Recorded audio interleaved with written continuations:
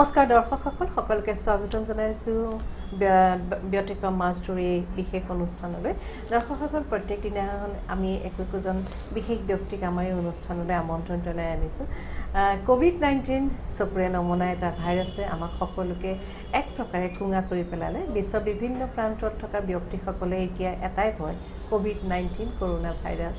আৰু এই ক'ভিড নাইণ্টিনৰ পৰা পৰিত্ৰাণ পাবলৈ চৰকাৰ প্ৰশাসন চিকিৎসকসকল সকলোৱে আমাক কৈছিল যে আমি সকলোৱে সামাজিক দূৰত্ব বৰ্তাই ৰাখিব লাগে আমি মুখত এখন মাস্ক ব্যৱহাৰ কৰিব লাগে আৰু পৰাপক্ষত বিশেষ কাম নাথাকিলে আমি ওলাই আহিব নালাগে। আৰু আমাক সতৰ্ক কৰি দিয়া প্ৰত্যেকজন ব্যক্তি সেয়া চিকিৎসকেই হওক আৰক্ষীয়ে হওক বা প্ৰশাসনৰ প্ৰত্যেকজন ব্যক্তিক আমি সদায় শ্ৰদ্ধা কৰোঁ কাৰণ তেখেতসকলে আমাক এটা সুস্থ জীৱন যাপন কৰিবলৈ এটা সুস্থ জীৱন দিবলৈ তেখেতসকলে বহু পুৰুষাৰ্থ প্ৰচেষ্টাৰে তেখেতসকলৰ কামবিলাক কৰি গৈছিল। তেখেতসকলে হয়তো জিৰণিও লোৱা নাছিল। সেইবাবে সকলোলৈকে শ্ৰদ্ধা জনাওঁ আমি সদায় এইকাৰণে কাৰণ তেখেতসকল নথকা হ'লে আমি হয়তো এখন সুন্দৰ পৃথিৱীৰ সপোন দেখিবলৈ লাহে লাহে আগবাঢ়িব নোৱাৰিলোহেঁতেন।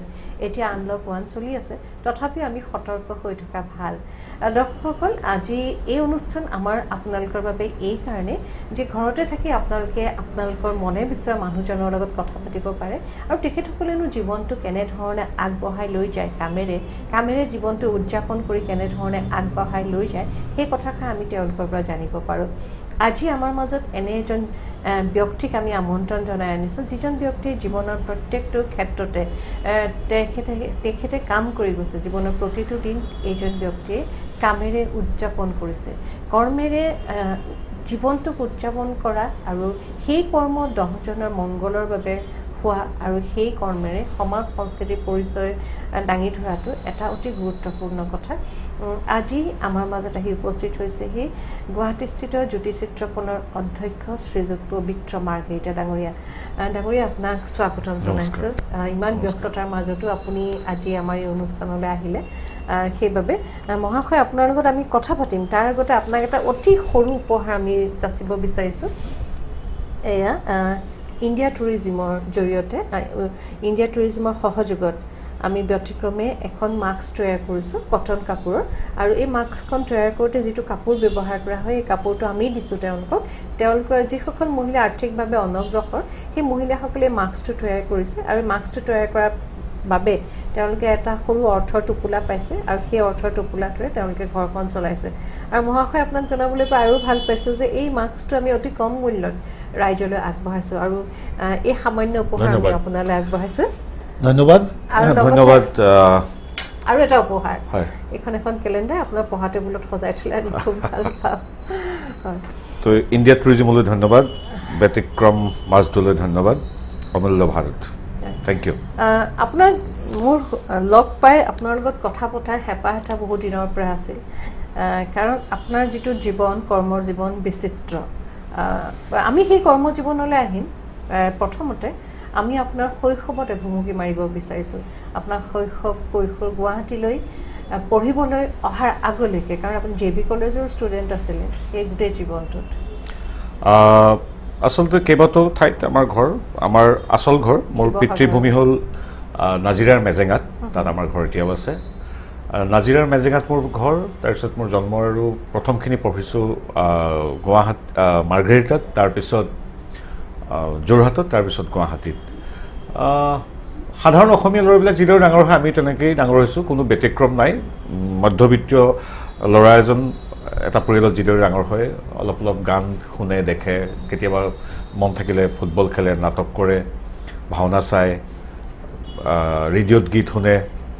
সাধাৰণ আমাৰ জীৱন পঢ়া শুনাত মধ্যবিত্ত বা নিম্ন মধ্যবিত্ত ল'ৰাই পঢ়া শুনাৰ বাহিৰে বেলেগ কোনো বস্তু নাথাকে উত্তৰাধিকাৰী সূত্ৰে বিশাল একো নাপায়।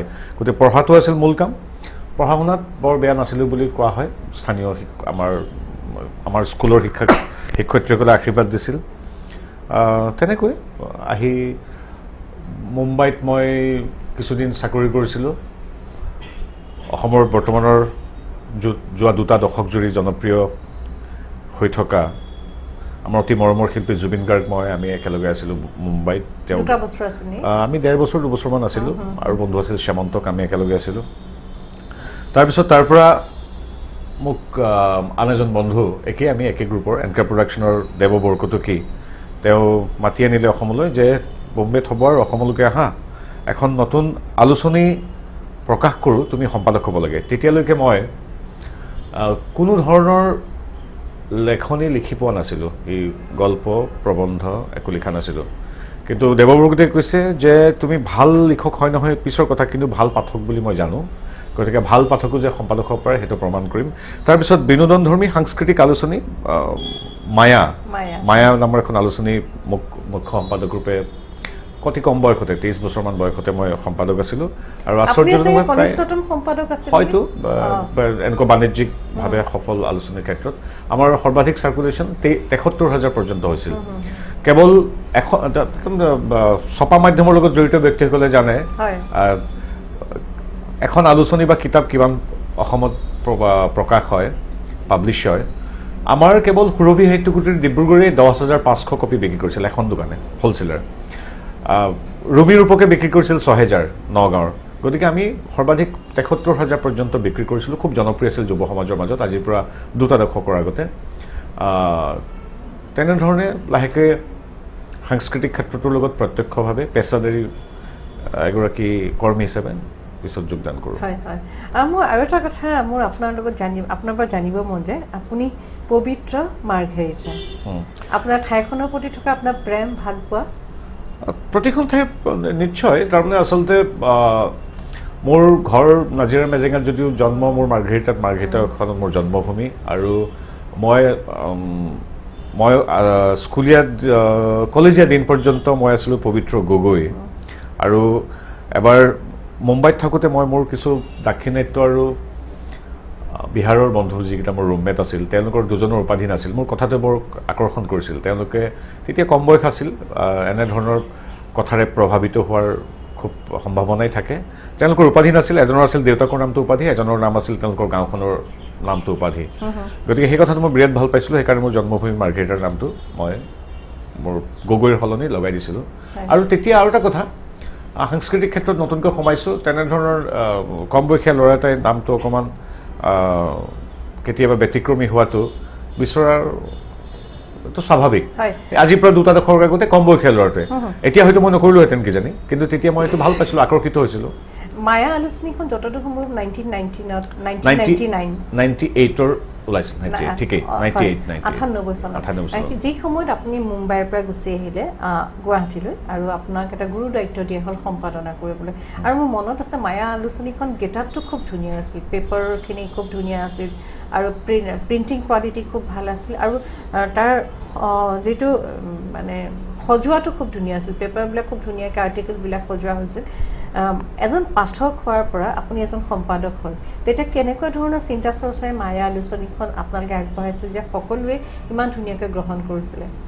মই বম্বে মুম্বাইত থাকোঁতে মিড ডে নামৰ এখন টেবলইড খুব জনপ্ৰিয়। মুম্বাইত থকা মিড ডে টেবলেটখনে মোক আকৰ্ষিত কৰিছিল আৰু তাৰ সেই তাৰ কণ্টেণ্টবিলাক তাৰ যিখিনি যিখিনি বস্তু সেই পাঠবিলাক মই বা খবৰবিলাক তাৰ লেআউট অংগসজ্জা এইবিলাকে মোক আকৰ্ষিত কৰিছিল। গতিকে মই মিড ডেৰ দ্বাৰা প্ৰভাৱিত হৈছিলোঁ। আৰু চাইজটো একেই পপুলাৰ চাইজ বিস্ময় উইজডম বা যিকোনো ধৰণৰ আলোচনীখন ওৱান এইট যিটো চাইজ সেইটো চাইজ খুব পপুলাৰ চাইজ এইটো চাইজ হৈছিল। আৰু খুব বৌদ্ধিক কচৰত তাত নাছিল কাৰণে মোৰ দৰে সাধাৰণ যুৱকেও সেই সেইখন সম্পাদনা কৰিব পাৰিছিলোঁ। তাত খুব সহজ সৰল ভাষাত মই যিহেতু নিজে মধ্যবিত্ত পৰিয়ালৰ ল'ৰা মধ্যবিত্ত যুৱ সমাজৰ মানসিক চিন্তা চেতনাৰ প্ৰতিফলন ঘটাবলৈ চেষ্টা কৰিছিলোঁ এইটো আমাৰ দৰে খাটি খোৱা মানুহৰ কাৰণে সহজ কাম আছিল। খুব বেছি বৌদ্ধিক চিন্তা চৰ্চাৰ তাত নাছিল। খুব সৰলভাৱে নিজৰ জীৱনটো কেনেকৈ উদযাপন কৰিব পাৰি সেইবিলাক কথা। গুগল গুৰু নাছিল তেতিয়া গুগল নাছিল কাৰণে আমি দেশ বিদেশৰ বিভিন্ন ধৰণৰ কথা যিবিলাক আজি আকৰ্ষণীয় তথ্য আমি এক ছেকেণ্ডতে পাওঁ তেনেধৰণৰ আক- আকৰ্ষণীয় তথ্যবিলাক বিভিন্নজনৰ পৰা আমি সংগ্ৰহ কৰিছিলোঁ লিখাইছিলোঁ। সেই গুগলত যে আমি আকৰ্ষণীয় তথ্যবিলাক পাওঁ সেই কথাখিনি আমি এই আলোচনীখনত দিবলৈ চেষ্টা কৰিছিলোঁ। সেইটো এটা কথা তথ্য সমৃদ্ধ আছিল যিবিলাক কলেজীয়া বা বিশ্ববিদ্যালয়ৰ ল'ৰা- ছোৱালীবিলাকে আনকি সাধাৰণ অন্য মানুহেও পঢ়ি ভাল পাইছিল। সেইকাৰণে হয়তো কিছু জনপ্ৰিয় হৈছিল। বহুদিন মই আছিলোঁ দুই তিনি বছৰ তাৰপিছত পোনপটীয়াকৈ যেতিয়া প্ৰযোজনাৰ সৈতে জড়িত হৈ পৰিলোঁ তেতিয়া কিছু সেইখনৰ প্ৰতি মই সময় দিব আপুনি নোৱাৰিলোঁ আৰু এখন আলোচনী সম্পাদনা কৰিছিল সেইখন চাৰেগামা। হয় চাৰেগামাখন তাৰপিছত মই কিছু অভিজ্ঞ হৈ উঠিলোঁ। চাৰেগামাখন প্ৰকাশ কৰিছিল অসমৰ অত্যাধুনিক এটি ছপাশাল ভৱানী অপচিট তেওঁলোকে কৰিছিল আৰু সেইটো কনচেপ্টটো আমাৰ আছিল আমি বিনামূলীয়াকৈ দিছিলোঁ বিশেষকৈ শিল্পীসকলক আৰু ছপাশালত। আমি আমাৰ তাত বাণিজ্যিক এটা দৃষ্টিকোণো আছিল সাংস্কৃতিক সেৱাৰ সমান্তৰালভাৱে। বাণিজ্যিক দৃষ্টিকোণটো কিন্তু আমি পেপাৰৰ কোৱালিটি প্ৰিণ্টিং ইত্যাদিবিলাক যিবিলাক ছপাশাল বা ডিজাইনাৰ আছিল সকলোৰে ওচৰলৈ আমি সেই আলোচনীখনৰ জৰিয়তে ভৱানী ৱেবছাইটৰ ডিজাইনখিনি পঠিয়াই দিছিলোঁ। তেতিয়া তেওঁলোকে গম পাইছিল বা অসমতো এনেধৰণৰ উচ্চ মানসম্পন্ন আহ, ছপা কাম হয়। গতিকে ভৱানী ৱেবছাইটৰ ব্যৱসায় বাঢ়িছিল সেইটো আমাৰ আইডিয়া আছিল। আৰু লগতে আমি বিনামূলীয়াকৈ দিছিলোঁ এখন সুন্দৰ ফ'ৰ কালাৰ আলোচনী। সকলো সাংস্কৃতিক খবৰ তাত দিছিলোঁ। গতিকে সংস্কৃতিৰ সৈতে জড়িত মানুহখিনি এখন এখন ৰেকৰ্ড বুক হিচাপে ৰাখি থৈছিল। প্ৰত্যেক কেছেট কিতাপ সেই মাহটোত কি কি হৈছিল তথ্যবিলাক দিছিলোঁ। মই আপুনি ইমান ধুনীয়াকৈ কথাখিনি কৈছে মোৰ তেতিয়া এটা কথা মনত পৰিছে। আমি যদি অকণমান সাংস্কৃতিক আলোচনী বুলি অকণমান যদি অতীতলৈ চাওঁ ৰূপকাৰ ওলাইছিল আৰু এতিয়া অতি সম্প্ৰতি দুখ লগা কথা যে বিস্ময়খনো আমাৰ মাজৰ পৰা লাহে লাহে হেৰাই যাব। বিস্ময় বন্ধ হৈছেই নাই ভাল খবৰ যে বিস্ময়খন এতিয়া মই যিখিনি জানিছোঁ আজি যে বিস্ময়খন আকৌ একেধৰণে চলি থাকিব। আৰু অসমৰ শ্ৰোতা ক্ষমা কৰিব। অসমৰ পাঠকেও পুনৰ বিস্ময়ৰ প্ৰতি আগ্ৰহ প্ৰকাশ কৰিছে। এবছৰৰ কাৰণে তেওঁলোকে বহু পাঠকে এবছৰৰ কাৰণে গ্ৰাহক ভক্তি কৰিছে। গতিকে ভাল খবৰ বিস্ময় চলি থাকিব। হয় সেইটো এটা খুব ভাল খবৰ আপুনি জনালে। আপুনি সাংস্কৃতিক এজন সাংস্কৃতিক কৰ্মী হিচাপে অসমৰ আলোচনীখিনিৰ বৰ্তমান অৱস্থানটো আপুনি কেনেধৰণে বিবেচনা কৰে? বিনোদন ধৰ্মী হওক বা সাংস্কৃতিক আলোচনী মৰি গ'ল। ছপা মাধ্যমটো ভাবুকিৰ সন্মুখীন হৈছে। এতিয়া বৈদ্যুতিন মাধ্যমৰ প্ৰভাৱত সেইটো চলি আহিছে কিন্তু ছপা মাধ্যমটো কেতিয়াও শেষ হৈ নাযায়। কাৰণ কি ছপা আখৰৰ সৈতে মানৱ বা ছপা আখৰৰ সৈতে মানৱ সমাজৰ সম্পৰ্ক শতাব্দীজোৰা। গতিকে ছপা আখৰ লাগিব কেৱল পাঠ্যপুথিৰ কথা নহয়। যিকোনো ক্ষেত্ৰত গ্ৰন্থ কিতাপ আলোচনী নপঢ়িলে মই নাভাবোঁ যে বৌদ্ধিকভাৱে এটা এখন সমাজৰ উন্নয়ন হ'ব। গতিকে যিমানেই অত্যাধুনিক আধুনিক গেজেট বা প্লেটফৰ্ম নাহক কিয় ছপা আখৰ সদায় থাকিব। হয়। হয়তো এতিয়া এটা লিন ফেজ এটা খুব এতিয়া দুৰ্দশা হৈছে কিন্তু আকৌ মই ভাবিছোঁ even after post covid situation ভাল হ'ব বুলি মই আশাবাদী হয়। আপোনাৰ বহুকেইটা চিনাকি আছে। আমি জ্যোতিচিত্ৰ পুনৰ কথাও পাতিম আপোনাৰ এটা দীঘলীয়া যাত্ৰা। কিন্তু বিগত বিছটা বছৰে আমি আপোনাক সাংস্কৃতিক কৰ্মীজনকহে আমি প্ৰথমে উলিয়াই আনিব বিচাৰিছোঁ। বিগত বিছটা বছৰে অসমৰ সাংস্কৃতিক ক্ষেত্ৰখনত আপুনি জড়িত হৈ আছে ওতঃপ্ৰোতভাৱে। প্ৰত্যক্ষ বা পৰোক্ষভাৱে আপুনি বিভিন্ন কাম কৰিলে। আপোনাৰ এই যাত্ৰাটোৱে সাংস্কৃতিক যাত্ৰাটোৱে বৰ্তমান সময়খিনিত অৱস্থান কৰিবলৈ আপোনাক কেনেধৰণে সহায় কৰিলে? আমি সাংস্কৃতিক কৰ্মী মানে কোনখিনি যিখিনি কালচাৰেল অৰ্গেনাইজাৰখিনি বাদ দিও সাংস্কৃতিক কৰ্মীৰ প্ৰয়োজন আছে সমাজত। যিদৰে বিহু এখন ফাংচন হয় তাৰ অৰ্গেনাইজাৰসকল অন্যতম সাংস্কৃতিক কৰ্মী। আৰু আমি সাংস্কৃতিক কৰ্মী যিখিনি পেছাদাৰী বা পেছাগতভাৱে মই সাংস্কৃতিক কৰ্মী আছিলোঁ মই আচলতে মোৰ সেইটো অসুবিধাই হয়। মই প্ৰযোজক আছিলোঁ পৰিচালকো আছিলোঁ কাহিনীও লিখোঁ। কিন্তু সকলোতে সম্পূৰ্ণ সময় দি এটা নিৰ্দিষ্ট ক্ষেত্ৰত মই খুব মনোযোগেৰে নকৰাৰ বাবে সাংস্কৃতিক কৰ্মী অভিধাটো দিবলৈ খুব সহজ হয়। মই আবৃত্তিও কৰিছিলোঁ অভিনয়ো কৰিছোঁ মই লিখিছোঁ মই প্ৰযোজনা কৰিছোঁ কিন্তু আচলতে কোনো তাত পূৰ্ণতা লাভ নকৰাৰ বাবেই সাংস্কৃতিক কৰ্মী দিয়া হয়। আৰু শিল্পী হোৱাটো আমাৰ দৰে সাধাৰণ মানুহৰ কাৰণে সম্ভৱ নহয়। কেতিয়াবা কোনোবাই শিল্পী বুলি ভুলতে কয় কিন্তু আজি মই কৈছোঁ যে মই শিল্পী নহয় শিল্পীটো বৰ বেলেগ ধৰণৰ বস্তু। সাংস্কৃতিক কৰ্মী শব্দটোৰে কিছু মানে কি ক'বলৈ সহজ হয়। কিন্তু সাংস্কৃতিক কৰ্মী কোনো মনত নাৰাখে। সাংস্কৃতিক কৰ্মী খুব সোনকালে ইতিহাস হৈ যায়। কাৰণ কি তেওঁলোকৰ সৃষ্টি যিহেতু পোনপটীয়াকৈ নাথাকে। যি মানুহৰ সৃষ্টি থাকে তেওঁ লিখক হওক তেওঁ সাহিত্যিক বা শিল্পী কবি অভিনেতা তেওঁলোকৰ সৃষ্টিৰ সৈতে পোনপটীয়া জড়িতকৈ জড়িত হৈ থাকে কাৰণে তেওঁলোকক সমাজে দশক দশক যুগ যুগ ধৰি মনত ৰাখে। কিন্তু সাংস্কৃতিক কৰ্মী বা এজন প্ৰযোজক মই এজন I was a professional producer গতিকে প্ৰডিউচাৰ বা এনেধৰণৰ যিসকল পৰ্দাৰ পিছফালৰ মানুহখিনি বিশেষ কেতিয়াবা গুৰুত্ব থাকে কিন্তু সময়ে খুব সোনকালে পাহৰি যায়। গতিকে এইটো নিশ্চিত। কিন্তু উপায় নাই। সাংস্কৃতিক কৰ্মী বুলি কোৱাৰ বাহিৰেতো উপায় নাই। এতিয়া মোক শিল্পী বুলি কোৱাটো মই নিজে নিবিচাৰোঁ। আপুনিও শিল্পী বুলি ক'বলৈ মোৰ মন যায় এইকাৰণে আপুনি মন যায় চিনেমাখনত। আপুনি যি সুন্দৰ অভিনয় কৰিছিলে জুবিন গাৰ্গো আছিল। আমাৰ চলচ্চিত্ৰখনৰ পৰিচালক আছিল শ্ৰীযুত এম মণিৰাম। এম মণিৰাম। আহ, ৰাষ্ট্ৰীয় পুৰস্কাৰ পাইছিলে? ৰাষ্ট্ৰীয় পুৰস্কাৰ পাইছিল তাত আপুনি খুব গভীৰভাৱে প্ৰায় যুৱকসকলক যি আমাৰ সমাজৰ প্ৰতিনিধিত্ব কৰা চাৰি পাঁচজন যুৱকৰ চৰিত্ৰ তাত বৰ্ণনা কৰা হৈছে। জুবিন গাৰ্গে খুব সুন্দৰ অভিনয় কৰিছিল আপোনালোকৰ সহশিল্পী আটাই অভিনয় কৰিছে। কিন্তু আপুনি অতি মননশীল অভিনয় এটাই তাত কৰিছিল আৰু আবৃত্তিকাৰ হিচাপেতো আপোনাৰ চিনাকি আছে। যদি মই অভিনয় কৰি থাকিলোহেঁতেন হয়তো তেতিয়া মোক কোনোবাই আজি মানে স্বীকৃতি দিলেহেঁতেন বা যদি মই কেৱল কেৱল আবৃত্তি কৰি থাকিলোহেঁতেন আবৃত্তিকাৰ। বুলি ক'লেহেঁতেন কিন্তু মই আবৃত্তিও কৰোঁ অলপ অভিনয়ো কৰোঁ প্ৰযোজনাও কৰোঁ গতিকে এইটোত বিশেষভাৱে মই নম্বৰ পাবলগীয়া একো কাম কৰা নাই। নিৰ্দিষ্ট এটা ক্ষেত্ৰত one has to be a specialist one has to be a specialist in particular field এইটো কয় যে ইংৰাজীত jack of all trades master of nothing তেনেধৰণৰ কথা হয়। অভিজ্ঞতা লভিছোঁ কিন্তু এইটোত। মানে এইটো চৰম সত্য মইতো জানো যে খুব স্বীকৃতিবিলাক দীঘলীয়া নহয় সাংস্কৃতিক কৰ্মীসকলৰ। সাংস্কৃতিক কৰ্মীসকলৰ স্বীকৃতি খুব আনকি প্ৰযোজক মই পূৰ্ণাংগ প্ৰযোজক মই প্ৰযোজনা কৰি ঘৰ চলাইছিলোঁ প্ৰযোজকসকলৰো খুব দীঘলীয়া নহয় তাৰমানে। সেই সময়ত আমি দুহেজাৰ চাৰি চন তেতিয়া খুব চি ডি পৰিভৰ চলি আছে তেতিয়া আপোনাৰ তত্বাৱধানত আপুনি প্ৰযোজনা কৰা জোনবাই চিডিখন খুব জনপ্ৰিয় হৈছে। জোনবাই তেতিয়া অসমৰ ঘৰে ঘৰে আছিল। কিন্তু মহাশয় আৰু এটা কথা মই কওঁ যিসকল ব্যক্তি আঁৰত থাকি এটা এখন শিল্প জগতক আগবঢ়াই লৈ যায় সেইসকলে বহুত ডাঙৰ কাম ডাঙৰ কাম কৰে। আৰু আপুনি তেনে কাম কৰিছে আমি প্ৰথমতে দুহেজাৰ চাৰি চনলৈ গৈ লওঁ। দুহেজাৰ চাৰি চনত যি জোনবাই আপোনালোকৰ প্ৰযোজনা আছিলে সেই জোনবাইৰ যোগেদি মূলতঃ বিহু আছিলে। বিহুক লৈ এটা কাহিনী উপস্থাপন কৰা হৈছিলে। তাৰ যোগেদি কিন্তু এখন আমাৰ গ্ৰাম্য সমাজ আৰু সমাজত চলি থকা আমাৰ কথা বতৰা আমাৰ সামাজিক ব্যৱস্থা সকলোখিনি আপোনালোকে আগবঢ়াই দিবলৈ সক্ষম ইয়াৰ ইয়াৰ কথাটো হ'ল কেনেকুৱা আমি তেতিয়া খুব আমাৰ চৰ্চা হৈছিল দেৱৰ বৰগুটকী জুবিন গাৰ্গ ৰাজেশ ভূঞা বহুকেইজন আমাৰ প্ৰতিভাৱান শিল্পী। আমি খুব ইতিবাচক কথাৰে আমি সন্ধিয়াটো মুখৰ হৈ পৰে কাৰণ কাষত মায়াৰ কাৰ্যালয়টোতে এইখিনি আলোচনা হয়। ডিজি মিউজিক ষ্টুডিঅ' ষ্টুডিঅ'টোত গানৰ ৰেকৰ্ডিং হয় এইফালে জুবিন গাৰ্গে গীত গাই থাকে এইফালে আমি সম্পাদনা কৰি থাকোঁ আৰু এনকে প্ৰডাকশ্যনৰ কিছু কনচেপচুৱেলাইজেশ্যন আৰু পাব্লিচিটি এইবিলাক কনচেপ্ট মোৰে আছিল। গতিকে মই পোনপটীয়াকৈ জড়িত হওঁ। তেতিয়া আমি এদিন কথা পাতিছিলোঁ যে মোৰ মনলৈ আহিল যে কেছেট য'ত বিক্ৰী কৰে ফাঁচী বজাৰত তাত প্ৰতিদিনে প্ৰায় সেই অকল সেই বজাৰখনৰ পৰাই দৈনিক এখন বজাৰৰ পৰা এশটাকৈ ডি ভি ডি বা ভি চি ডি প্লেয়াৰ বিক্ৰী হৈ যায়। এতিয়া মই সুধিলোঁ যে যদিহে দিনে এশটাকৈ যায় তেতিয়াহ'লে মাহেকততো তিনি হেজাৰ বিক্ৰী হ'ব। এবছৰটো প্ৰায় ছয়ত্ৰিছ হেজাৰ ডি ভি ডি প্লেয়াৰ এখন দোকানৰ পৰা এখন সৰু বজাৰৰ পৰা বিক্ৰী হয়।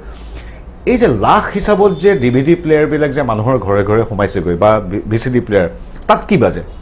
তেতিয়া তাত বাজে তে প্ৰবাল খাউনহঁতে খুব সুন্দৰ সুন্দৰ গীত বনাইছিল। এখন এখন চিডিৰ দাম দুশ টকা আঢ়ৈশ টকা। তাত অসমীয়া চি ডি গানৰ চি ডি কেইখনমান আছিল। আৰু টি চিৰিজৰ কিছু হিন্দী চি ডি এইবিলাক বাজে। মই কৈছোঁ এইখনতো অদ্ভুত মাৰ্কেট এইখনতো সাংঘাতিক তেওঁলোকৰ তাৰমানে আমাৰ অসমীয়া মানুহৰ ঘৰত D player V C D V C D player আছে। বজাবৰ কাৰণে প্ৰবাল খাউনহঁতে কৰা গানৰ দুখনমান ভিডিঅ' চি ডি আৰু দুখনমান হিন্দীৰ বাহিৰতে একো নাই ইংলিছ চিনেমাৰ বাহিৰত কি কৰা যায়?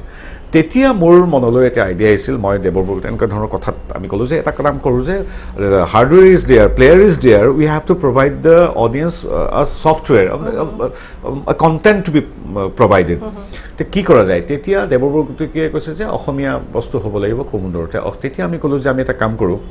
বিহু গীতৰ কেছেটটো আমাৰ মূল ব্যৱসায়। কেছেটটো বিক্ৰী হ'ব কেছেটটোৰ গানখিনি কাষ চপাম আমি নৃত্যৰে ইতিমধ্যে এনকা প্ৰদৰ্শনে নৃত্যৰ চি ডি আৰম্ভ কৰিছে। ভিডিঅ' চি ডি কৈছোঁ সেইখিনি এটা কাহিনীৰে আমি গুঠি থ'লে খুব ভাল হ'ব। কথাখিনি খুব ভাল পালে এইটো নতুন আইডিয়া যে আমি এখন চুটি ছবি কৰোঁ চিনেমা। দ্য ষ্টেণ্ডাৰ্ড কোৱালিটি এখন অসমীয়া চিনেমা যিদৰে আমি সেইটো কোৱালিটিত নিবলৈ চেষ্টা কৰিম। ভাল কেমেৰা ভাল মেকআপ আৰ্টিষ্ট ভাল কোৰিঅ'গ্ৰাফাৰ ক্ৰেন ট্ৰেক ট্ৰলি সকলোবিলাক চিনেমাৰ দৰে কৰিম আমি। কোনো পাল মৰা কাম নহ'ব। খালি চিনেমাখন যদি আঢ়ৈ ঘণ্টীয়া হয় আমাৰখন হ'ব এঘণ্টা দহ মিনিট। পৰিসৰটো কিছু আমি সৰু কৰিম কিন্তু অসমীয়া জনজীৱনটো স্পষ্টকৈ সুন্দৰকৈ আমি প্ৰতিষ্ঠা কৰিম। দেখুৱাম। একে সময়তে কৰিলোঁ আমি জানমণি আৰু জোনবাই। জানমণি এনকে প্ৰডাকশ্যনৰ জোনবাই আমাৰ। দুইখন একেলগে কৰিলোঁ। একেই ডিৰেক্টৰ ৰাজেশ ভূঞা আৰু জানমণিত শ্যামন্তিকাক অভিনয় কৰিলোঁ। ইয়াত বৰষাণী বিষয় আৰু গায়ত্ৰী মহন্ত কৰিলে। তাৰপিছত দেখিলোঁ যে এইটো নতুন টেষ্ট পালে মানুহে নিজৰ গাঁওখন বিচাৰি পালে এটা চমু কাহিনীত। আৰু সেই যে লাখ লাখ ফাঁচী বজাৰ যি মোৰ দৃষ্টি আকৰ্ষণ কৰিছিল লাখ লাখ ভিডিঅ' প্লেয়াৰ যে ঘৰত আছিল তাত কেৱল হিন্দী চিডিখন বা গানৰ চিডিখন ভৰাই দিয়া হয় তেতিয়া তাত মই যিদৰে ভাবিছিলোঁ সেইদৰে এখন ভিডিঅ' চিডিঅ' বজাই বজাবলৈ এটা কণ্টেণ্ট পালে। তাৰপিছত তাৰ আগতো বহুত হৈছে চুটি ছবি কিবা হৈছে কিন্তু সম্পূৰ্ণ প্ৰফেচনেল ৱেত আমাৰ বোধেৰে আমাক যিদৰে কোৱা হয়। মই দাবী নকৰোঁ। আমাক কোৱা হয় যে জানমণি আৰু জোনবাই প্ৰফেচনেলি কামটো কৰিলে কাৰণে। তাৰপিছত ভিডিঅ' ফিল্মৰ বা এনেধৰণৰ লোকসংগীত ভিত্তিক চুটি ছবিৰ এটা ট্ৰেণ্ড আৰম্ভ হ'ল। কিবা কোটি টকাৰ ব্যৱসায়। প্ৰতিষ্ঠা হ'ল। কিন্তু সেই কোঠাটোত দেৱব্ৰতী ৰাজেশ ভূঞা মই আমিবিলাকেই প্ৰথম কথাটো পাতিছিলোঁ। আৰু আপোনালোকে যিকেইখন ভি চি ডি কৰিলে সেইখন কেৱল অসমতে নাথাকিল। বিদেশত থকা আমাৰ যিসকল প্ৰৱাসী অসমীয়া তেওঁলোকৰ ওচৰলৈ গ'ল। আৰু সেই ভি চি ডি কেইখনে মানে বহুতৰ মন মনত থাকি গ'ল। তাৰ পাছতে আমাৰ সেই সময়ত সোণোৱালী যুগ আছিলে নহয় V C D audio' C D আৰু কেছেটৰ। তাৰ পাছত এটা বৰ ডাঙৰ শব্দ আহিল আমাৰ মাজলৈ পাইৰেচি। আৰু সেই পাইৰেচি এগেইনষ্টতো আপোনালোকে যথেষ্ট মাত দিছিলে যথেষ্ট সৰব হৈ উঠিছিলে আপোনালোকে। আৰু আপোনাৰ যি ধুনীয়া কণ্ঠ সেই কণ্ঠৰ কাৰণে আপুনি সদায় চিনাকি। আৰু আবৃত্তিতে হওক বা আৰু সদায় চিঠিখনৰ শেষত আমি আপোনাৰ কণ্ঠৰে শুনাই পাইছিলোঁ ষ্টপ পাইৰেচি আৰু আমি যে পাইৰেচি বন্ধ কৰিব লাগে সেই কথাষাৰ সেই কথাখিনি শুনিছিলোঁ এই পাইৰেচি বন্ধ কৰাৰ ক্ষেত্ৰত আপোনালোক কিমান দূৰ আগবাঢ়িছিল যুদ্ধ? পাইৰেচিটো সম্ভৱ নহয় কাৰণ এখন চিডিৰ দাম পঞ্চাছ টকা বা এশ টকা আছিল। ছটকাত চিডি এখন পাই পাইৰেচি কৰি গাঁৱত চহৰত বিক্ৰী হয়। গতিকে পাইৰেচিয়ে ইণ্ডাষ্ট্ৰিটো ধ্বংস কৰিলে তাক কিন্তু তাৰ সমান্তৰালভাৱে যেতিয়া টেকন'লজি চেঞ্জ হয় ট্ৰেনজিশ্যন পিৰিয়ডটো আহি গ'ল চিডিৰ সলনি পেন ড্ৰাইভ আহিল পাম্প টপ লেপটপ আহিল। গতিকে ফৰ্মেট চেঞ্জ হৈ গ'ল। যেনেকৈ এসময়ত গ্ৰামফোন আছিল গ্ৰামফোনৰ পৰা কেছেট কেছেটৰ পৰা audio' video' C D C ডিৰ পৰা এতিয়াতো সৰু পেন ড্ৰাইভ বা যিকোনো ডাটা ফৰ্মত. আহি গ'ল। গতিকে এইটো তেনেকুৱা ধৰণৰ কথা। আৰু যিটো কৈছে মোৰ এইটো বিৰাট বৰ ৰোমাঞ্চকৰ হেৰি। আচলতে এই কেছেট যিমান জুবি- বহুতে নাজানে কি জানি জুবিন গাৰ্গৰ বা আমাৰ এণ্টে প্ৰডাকশ্যনৰ বা মোৰ নিজৰো প্ৰত্যেকটো কেছেটৰ পিছফালে যিখিনি কথা আছে সেই কথাখিনি সদায় মই কওঁ। এন কে প্ৰডাকশ্যনৰ পৰৱৰ্তী নিবেদন জুবিন গাৰ্গৰ কথাত এইবিলাক এইটো তাৰমানে মই খুব কেজুৱেলি কওঁ আচলতে কোনো আগতে বিপুল দা খুব সুন্দৰ কণ্ঠৰ অধিকাৰী তেওঁ এদিন অহা নাছিল। মিউজিক মেকাৰ্ছৰ বিপুল দাটো খুব সুন্দৰভাৱে কয়। আমাতকৈ বহুত ভাল তেখেতৰ উচ্চাৰণ বা কথনশৈলী। যে মিউজিক মেকাৰ্ছৰ এনেকৈ জিতুল সোণোৱালৰ এটা কণ্ঠত। খুব সুন্দৰ। তেওঁ নাহিল কাৰণে এদিন দেৱে ক'লে হেৰি জুবিনে ক'লে নেকি? দেৱ জুবিনে কৈছে পবিত্ৰ তুমিয়ে কৈ দিয়া পঠিয়াব লাগে মাষ্টাৰ বম্বেলৈ। তেতিয়া মই কৰিলোঁ যে এন কে প্ৰডাকশ্যনৰ পৰৱৰ্তী নিবেদন। সেইটো তাৰপিছত তেহেঁতি ভাল পালে। আৰু সেইটো মোৰ সৌভাগ্য যে আগতে জেনেৰেলি এড আহিলে ফাষ্ট ফৰৱাৰ্ড কৰি দিওঁ আমি কেছেটৰ দিনত। মোৰ মোৰ এডবিলাক বোলে কমকৈ ফাষ্ট ফৰৱাৰ্ড কৰা হয়। এই কথাটো মোক ভাল মানে মোৰ মনটো ভাল লাগে সেইটো কাৰণে আৰু এইখিনিতে আৰু এটা কথা আপোনাক লগ পালে মোক সুধিবৰ মন যায়। ইমান সুন্দৰকৈ কথা কোৱাৰ যিটো শৈলী সেই শৈলীটো আপুনি কেনেকৈ আয়ত্ব কৰিলে? আপোনাৰ ৰাজনৈতিক জীৱনলৈ আমি আহিম। আহ, কিন্তু বিভিন্ন ক্ষেত্ৰৰ ব্যক্তিসকলৰ লগলৈ আপুনি যেতিয়া যায় বিভিন্ন ফিল্ডৰ আৰু যেতিয়া আপুনি ৰাজহুৱা অনুষ্ঠানত কথা কওক বা ব্যক্তিগতভাৱে কথা কওক ইমান সুন্দৰকৈ কথা কোৱাৰ শৈলীটোক আয়ত্ব কেনেকৈ কৰিলে আৰু এই শৈলীটো আয়ত্ব কৰিবলৈ আপুনি কি কি কষ্ট কৰিছিলে? একো কষ্ট কৰা নাই মোৰ একো ক্ৰেডিট নাই কথাখিনি কোৱাত অসমীয়া ভাষাটো ইমানেই সুন্দৰ। অসমীয়া ভাষাটো সি নামনিৰ কথিত ভাষাই হওক বা উজনিৰ কথিত ভাষাই হওক বা অসমীয়া ভাষাৰ লিখিত ৰূপটোৱে হওক সি নলবাৰীৰ সুন্দৰ কথনশৈলীয়ে হওক বা বৰপেটীয়া কথনশৈলী হওক আমাৰ অসমীয়া ভাষাটো প্ৰতিটো অঞ্চলত আনকি জনগোষ্ঠীয় উচ্চাৰণেৰে কথনশৈলী হওক ইমানেই ধুনীয়া অসমীয়া বা আমাৰ জনগোষ্ঠীয় ভাষা বা অসমীয়া ভাষাৰ কথনশৈলী উজনি নামনি ইমানেই ধুনীয়া যে ক'লেই ভাল লাগে আচলতে সেইটো মোৰ কথা নাই তেনেকুৱা কথা নাই অঁ।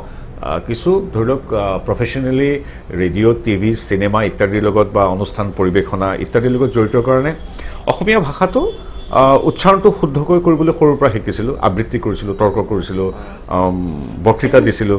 গতিকে সেইকাৰণে হয়তো কিছু হ'ব পাৰে। কিন্তু মোৰ একো ক্ৰেডিট নাই। অসমীয়া ভাষাটো ইমানেই সুন্দৰ যি যেনেকৈ কয় ভালেই লাগে। আনকি নতুনকৈ অসমীয়া শিকা এজন তামিল তেলেগু বা উত্তৰ ভা- ভাৰতৰ মানুহেও যেতিয়া অসমীয়া কয় মোৰ শুনি ভাল লাগে। কিন্তু মোৰ আটাইতকৈ ভাল লাগে যেতিয়া কলেজীয়া জীৱনত আহি পালোহি যে নামনি অসমৰ যিটো আমাৰ বৰপেটীয়া নলবৰীয়া কামৰূপীয়া যিটো কথনশৈলী অপূৰ্ব ইমান নিভাজ ইমান সুন্দৰ সেইটোৱে মোক লিখিতটোৰ সমান সমানেই আনন্দ দিয়ে মোৰ মই ক'বলৈ খুব চেষ্টা কৰোঁ। বৰপেটীয়া নলবৈৰা মই ক'বলৈ খুব চেষ্টা কৰোঁ। মই গতিকে অসমীয়া ভাষাৰ মাহাত্ম্য মোৰ তাতে মোৰ নিচিনাকৈ চবেই কয়। ঠিক আছে। আপুনি যে ইমান সুন্দৰকৈ অনুষ্ঠানবিলাক আঁত ধৰে এটা সময়ত এতিয়া যিহেতু আপোনাৰ কৰ্মব্যস্ততা বাঢ়িল আপুনি বহু আপুনি গুৰু দায়িত্বত আছে জ্যোতি চিত্ৰবনৰ দৰে এটা অনু- অনুষ্ঠানৰ। এই এংকৰিং যিটো কয় অনুষ্ঠানৰ আঁত ধৰোতা সেই সেয়াটো আপুনি অতি সুন্দৰকৈ কৰে। এগৰাকী ব্যক্তিয়ে এগৰাকী সুস্থ আঁত ধৰোতা সুন্দৰ আঁত ধৰোতা হ'বলৈ কি কি কচৰৎ কৰিব লাগে? এংকৰিং মই আজিৰ পৰা দহ বছৰ আগতে কৰিবলৈ এৰিলোঁ। দহ বছৰ নহয় আঠ বছৰমানৰ আগতে। এতিয়া মই কৰিবলগীয়া হ'লে মোৰ মই যিটো ৰাজনৈতিক দলৰ সৈতে জড়িত সেই দলটো আৰু আমাৰ বিচাৰ সংগঠনৰ যিবিলাক অনুষ্ঠান প্ৰতিষ্ঠান আছে সেইবিলাকৰ যেতিয়া দায়িত্ব আহে তেতিয়া আমি কৰোঁ। তাৰ বাহিৰে মই কোনো ধৰণৰ স্বাভাৱিকভাৱে এতিয়া এটা পদত থাকি এংকৰিং কৰাটো কেতিয়াবা সম্ভৱ নহয়। নহয়, বা মই এইটোৰ পৰা ৰিটায়াৰ্ড এতিয়া আচলতে এংকৰিংটো মই মই নিজে যিটো ভাবোঁ কমকৈ কথা ক'ব লাগে। আমাৰ মই মই নিজে মোৰ নিজৰ এংকৰিং বা অনুষ্ঠানৰ সূত্ৰধাৰ ৰূপে কথাখিনি বাদ দি আটাইত ক'বলগীয়া নাথাকিলে মনে মনে থাকিব লাগে। আটাইতকৈ ভয় লগা কথাটো হ'ল যেতিয়া মঞ্চ এখন এজন সূত্ৰধাৰক দি দিয়া হয় তেতিয়া প্ৰয়োজনীয় কথাখিনি ক'ব লাগে আৰু প্ৰয়োজন সাপেক্ষে দৰ্শকক কৈ দিব লাগে যে আমাৰ এইখিনি অলপ বিৰতিৰ সময় জিৰণি সময় আমি কিছু সময় বিৰতি লওঁ। কিন্তু সেই টাইমখিনিত অযথা কথা কৈ থাকিলে মানুহ বিৰক্ত হয় আৰু খুব নেচাৰেল হ'ব লাগে প্ৰাকৃতিক হ'ব লাগে। মাইক্ৰফোনটো পালোঁ বুলি একদম বেৰিটন ভইচ উলিয়াই একদম পূৰা আৰ্টিফিচিয়েল ভইচ থ্ৰয়িং কথনভংগীৰ মানে অকৃত্ৰিম কথনভংগী গলগলীয়া এটা কণ্ঠ উলিয়াই মানে অসমীয়া সাহিত্যটো খুব কমকৈ ব্যৱহৃত হোৱা ভাষাৰ মানে পয়োভৰ এইবিলাক মানে কি মই পাৰ্চনেলি বা মোৰ দৰে বহুত দৰ্শকে হয়তো এইবিলাক ভাল নাপায়। খুব নেচাৰেল হ'ব লাগে যে দৰ্শকসকল আহক আমি এনেকুৱা কৰোঁ। এজন খুব ভদ্ৰভাৱে এজন মানুহে এজন মানুহৰ সৈতে যেনেকৈ কথা পাতে ব্যক্তিৰ সৈতে যেতিয়া যেনেকৈ কথা পাতোঁ ব্যক্তি সমষ্টিৰ সৈতেও আমি তেনেধৰণে খুব সুন্দৰভাৱে অতি স্বাভাৱিকভাৱে স্বাভাৱিকভাৱে পাতিব লাগে শুদ্ধভাৱে ভাষাটো ক'ব লাগে স্পষ্টকৈ ক'ব লাগে কৃত্ৰিমতাৰ সহায় ল'ব নালাগে সেইটো বডি লেংগুৱেজেই হওক শাৰীৰিক ভাষাই হওক বা কথন শৈলীয়ে হওক কণ্ঠস্বৰেই হওক one should not be artificial আৰু। অপ্ৰয়োজনীয় কথা ক'বই নালাগে। আৰু এংকৰ ইমান কথা কৈ দিয়ে মূল বক্তাজনতকৈ বেছি কথা কৈ দিয়ে। যিজন বক্তা আহিব তেওঁ যিমান কথা কয় তাতকৈ এংকৰজনে তিনিগুণ বেছি কথা কয়। এই কথাবিলাকে বৰ বিৰক্তি দিয়ে। এইখিনি কথা নক'লে প্ৰত্যেকজন ঘোষকেই এজন ভাল সূত্ৰধাৰ হ'ব পাৰে। আজি মই আকৌ নতুনকৈ আপোনাৰ পৰা বহু কথা শিকিলোঁ। এতিয়া যিজন ব্যক্তি সাংস্কৃতিক ক্ষেত্ৰখনত ইমান ওতঃপ্ৰোতভাৱে জড়িছিলে জড়িত হৈ আছিলে যিজন ব্যক্তিয়ে সমাজ জীৱনটোক ইমান ধুনীয়াকৈ ভাল পাইছিল সদায় সাহিত্য সংস্কৃতিৰ লগত জড়িত হৈ আছ- আছিল সেইজন ব্যক্তি পবিত্ৰ মাৰ্ঘেৰিটা ডাঙৰীয়া এটা ৰাজনৈতিক দললৈ কিয় গ'ল? ভাৰতীয় জনতা দলৰ আপুনি এজন মুখপাত্ৰ হিচাপে আছে। ভাৰতীয় জনতা দলৰ অসম শাখাত অতি গুৰুত্ব সহকাৰে আপুনি আপোনাৰ দায়িত্বখিনি পালন কৰি আছে। কেনেধৰ কিয় যাবলৈ মন গ'ল আপোনাৰ? ছাত্ৰ অৱস্থাৰ পৰাই যিহেতু ছাত্ৰ একতা সভা ইত্যাদিৰ সৈতে জড়িত আছিলোঁ সাধাৰণ সম্পাদক আছিলোঁ। গতিকে সন্মুখত থাকি কাম কৰাৰ এটা ইচ্ছা আৰু অসমখনক ভাৰতখনক সেৱা এটা কৰাৰ ইচ্ছা প্ৰতিজন দৰ্শকৰ দৰে মোৰো আছে। কিছুমানে নিজৰ কৰ্মক্ষেত্ৰৰ পৰা কৰে কিছুমানে সামাজিক বা ৰাজনৈতিক দল সংস্থালৈ আহি কৰে। ইয়াৰ অৰ্থ এইটো নহয় যে কেৱল অৰাজনৈতিক ৰাজনৈতিক সংস্থাৰ লগত জড়িত মানুহখিনিয়েহে পোনপটীয়াকৈ দেশ সেৱা কৰে। এই অনুষ্ঠান চাই থকা এজন শিক্ষক এজন খেতিয়ক এজন ছাত্ৰ নিজৰ নিজৰ ক্ষেত্ৰত সকলোৱে সমাজ সেৱা কৰে। ময়ো ৰাজনীতিৰ প্ৰতি আকৰ্ষিত আছিলোঁ অটল বিহাৰী বাজপেয়ীৰ প্ৰতি আকৰ্ষিত নৰেন্দ্ৰ মোদী ডাঙৰীয়াৰ প্ৰতি আকৰ্ষিত আৰু যিটো বিচাৰধাৰাত ভাৰতীয় জনতা পাৰ্টী চলে নিজৰ মা- আহ, দেশমাতৃ ভাৰত ভূমিক নিজৰ মাতৃ বুলি ভাবে অসমক মাতৃ বুলি ভাবে নিজৰ মাতৃভাষাক শিৰত তুলি লয় কেৱল ৰাজনীতি ইলেকশ্যনত আম, চিট জিকিম চৰকাৰ কৰিম এই ধৰণৰ কথাৰ পৰা কিছু ঊৰ্ধত ভাৰতীয় জনতা পাৰ্টীক মই দেখিলোঁ মই বহুদিনৰ পৰা চাই আছিলোঁ যে কেৱল ইলেকশ্যনত জিকিম চৰকাৰ কৰিম এই নীতিৰ পৰা ঊৰ্ধত কিন্তু ভাৰতীয় জনতা পাৰ্টী। এতিয়া অভ্যন্তৰলৈ গৈ আৰু সিমজু অনুভৱ কৰিছোঁ। আহ, অন্ত্যোদয়ৰ কথা কয় যে একেবাৰে সমাজৰ শেষ শাৰীত যি ব্যক্তি আছে তেওঁলোকৰ উত্তৰণৰ কথা কোৱা হয়। গতিকে এনেধৰণৰ কথাবিলাকে মোক আকৰ্ষিত কৰিলে আৰু বিচাৰধাৰা যিটো বিচাৰধাৰাত যিটো আইডিঅ'লজিত ভাৰতীয় জনতা পাৰ্টী সমাহিত সেই আইডিঅ'লজিটোৰ মোক আকৰ্ষিত কৰিলে। তাৰপিছত সৰ্বানন্দ সোণোৱাল ডাঙৰীয়া সেই সময়ত ইতিমধ্যেই নিজৰ স্থিতি অতি শক্তিশালী ৰূপত তেখেতে ভাৰতীয় জনতা পাৰ্টীক তেখেতৰ আদৰি ল'লে ভাৰতীয় জনতা পাৰ্টী অসমবাসী আদৰি ল'লে। তেখেতক আমি তেখেতৰ লিডাৰশ্বিপ আমি দেখি আহিছোঁ ছাত্ৰ সন্থাৰ দিনৰ পৰাই। গতিকে সকলো মিলি আৰু মোৰ এজন ৰাজনৈতিক গুৰু আছে প্ৰমোদ কলিতা। তেওঁ আইডিঅলজিৰ লগত জড়িত ৰাজনীতিৰ লগত জড়িত নহয়। এই সকলোৰ দ্বাৰা প্ৰভাৱিত হৈ মই আজিৰ পৰা ছবছৰ আগতে ভাৰতীয় জনতা পাৰ্টীত যোগদান কৰিলোঁ আৰু মই কৃতাৰ্থ কৃতজ্ঞ আজীৱন সাধাৰণতে নহয় মই যোগদান কৰাৰ মাত্ৰ তিনি মাহমানৰ পিছতেই মোক ৰাজ্যিক মুখপাত্ৰৰ দায়িত্ব দিলে আৰু সেই কাম যোৱা ছটা বছৰে মই আজি পৰ্যন্ত কৰি আহিছোঁ। দলৰ ওচৰত মই কৃতজ্ঞ। মুখপাত্ৰ হওঁৱেই বা নহওঁ কিবা দায়িত্বত থাকোঁ বা নাথাকোঁ এজন সাধাৰণ কৰ্মী হিচাপে ভাৰতীয় জনতা পাৰ্টীৰ এজন মই গৌৰৱ কৰা এজন কাৰ্যকৰ্তা। ভাৰতীয় জনতা পাৰ্টীৰ দলত যোগদান কৰা আপুনি ছবছৰ হ'ল। অতি সম্প্ৰতি আপুনি আমাৰ জ্যোতি চিত্ৰবনৰ অধ্যক্ষৰ পদত আছে। আৰু যেনেধৰণে আপুনি চাৰেগামা আলোচনীখন বা মায়া আলোচনীখনত আটাইতকৈ কম বয়সীয়া সম্পাদক আছিল তেনেকৈ এইটো সম্ভৱ নেকি যে জ্যোতি চিত্ৰবনৰ অধ্যক্ষ পদত কৰা আপুনি কনিষ্ঠতম বা কম বয়সৰ? হ'ব পাৰে হোৱাৰ সম্ভাৱনা আছে কাৰণ আমাৰ প্ৰথমগৰাকী অধ্যক্ষ আছিল প্ৰাক্তন সাংসদ বিজয় কৃষ্ণ সন্দিকৈ তেওঁ তেতিয়া এম এল এ আছিল তেখেতৰ বয়স তেতিয়া আমাতকৈ হয়তো বেছি আছিল। বহু কেইগৰাকী পুৰুষা ব্যক্তি আছিল আমাৰ তাত ফণী তালুকদাৰ ডক্টৰ ভৱেন্দ্ৰনাথ শইকীয়া কেইবাগৰাকীও ভাৰতীয় প্ৰশাসনীয় সেৱাৰ আই এছ অফিচাৰ আছিল। নিপন গোস্বামী দেৱ আমাৰ এগৰাকী বৰেণ্য শিল্পী তেওঁ আছিল। গুৱাহাটীৰ সাংসদ কিৰীপ চলিহাও তাত আছিল। জে পি শইকীয়া বহুকেইগৰাকী জ্যেষ্ঠ মানুহ যাক মই ব্যক্তিগতভাৱে লগ পাইছোঁ। মই মই ভাবোঁ তেওঁলোকতকৈ কিজানি হয়তো কনিষ্ঠ। কিন্তু মই আকৌ যেতিয়া এনেধৰণৰ নিগম নিকায়বিলাকৰ অধ্যক্ষ ইত্যাদিৰ বাছনিৰ কথা ওলাইছিল মোৰ নামটো অহাৰ সম্ভাৱনা আছিল। তেতিয়া মই কিন্তু আজি কৈছোঁ তেতিয়া মই কিন্তু আমাৰ যি মাৰ্গদৰ্শক বা যিসকল সিদ্ধান্ত গ্ৰহণ কৰোঁতা তেখেতসকলক মই বাৰে বাৰে অনুৰোধ কৰিছিলোঁ যে মোক অনুগ্ৰহ কৰি Kalakshetra Assam film finance corporation আৰু জ্যোতিচিত্ৰবন এইকেইটাত অনুগ্ৰহ কৰি নিদিব। সাংস্কৃতিক ক্ষেত্ৰত মই বহুত কাম কৰিলোঁ। গোটেই কথাখিনি মই মোটামুটি জানো। তাত মানুহে মোক কিছু পৰিমাণে সেই বিষয়ে স্বীকৃতিও দিছে। গতিকে মই আন যিকোনো ক্ষেত্ৰত যদি ভাবে কেতিয়াবা যদি আন বেলেগ ক্ষেত্ৰত মোক আপোনালোকে নিয়োগ কৰক যিকোনো ক'ব পাৰে সেই কিতাপ চপোৱাৰ পৰা চাহ বাগান পৰিচালনা কৰালৈকে কৃষি ক্ষেত্ৰৰ পৰা উদ্যোগ ক্ষেত্ৰলৈকে বেলেগ ক্ষেত্ৰত দিয়ক মই বেলেগ ক্ষেত্ৰত কাম কৰি দেখুৱাম।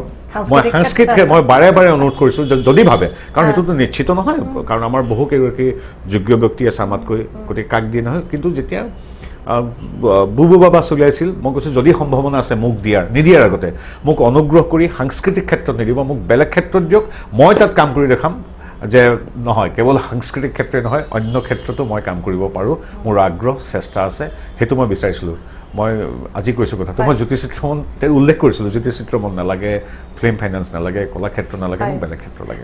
আমি আ, জ্যোতি চিত্ৰবনত কাম কৰাৰ লগত আৰু বহু কথা আছে সেইখিনি পাতিম। মই দুহেজাৰ সোতৰ চনলৈ যাব বিচাৰিছোঁ।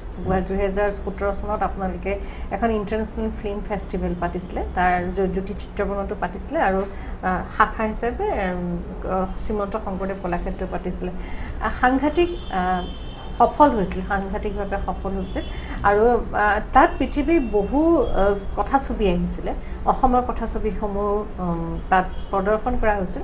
আৰু সেই ফিল্ম ফেষ্টিভেল আন্তঃৰাষ্ট্ৰীয় চলচ্চিত্ৰ মহোৎসৱত যিসকল চলচ্চিত্ৰ ভাল পোৱা ব্যক্তি তেওঁ অভিনেতা বা পৰিচালক হ'ব নালাগে। তেওঁ ছবি চাই ভাল পোৱা ব্যক্তিসকলে আৰু তেওঁলোকৰ মনে বিচৰা ছবিখন চোৱাৰ লগে লগে সেই ছবিখনত কাম কৰা পৰিচালক কলাকুশলী অভিনেতা অভিনেত্ৰীসকলকো লগ পাব পাৰিছিল আৰু সেই চলচ্চিত্ৰ মহোৎসৱৰ সময়ত মোৰ মনত আছে গুৱাহাটীত এক উৎসৱমুখৰ পৰিৱেশ হৈছিল। প্ৰত্যেকজন ব্যক্তিয়ে যাব বিচাৰিছিল চাবলৈ। সেই পৰিকল্পনা কেনেকৈ কৰিছিল আৰু কিমান দূৰ সফল হৈছিল? আচলতে আমি এইটো